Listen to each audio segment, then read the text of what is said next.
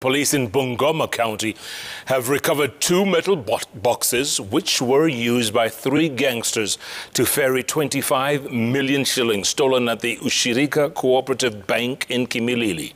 Two robbers have since been identified after they were captured on CCTV carrying AK-47 guns and two metal boxes containing the cash.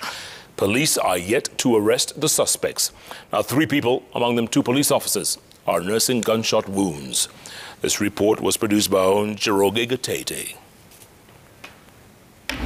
In this CCTV footage captured during a robbery at Ushirika Cooperative Bank in Kimilili, one robber is seen running while carrying three AK-47 rifles.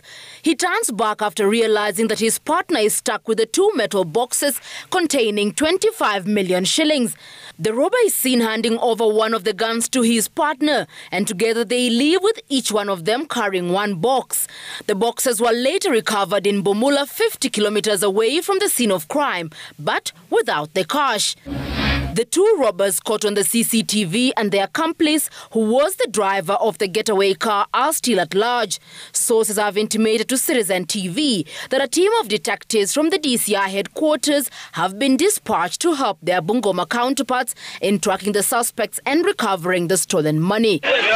Two police officers and the bank manager who sustained gunshot wounds during the robbery incident are still admitted at the Moi Referral Hospital and St. Luke Hospital in Eldoret.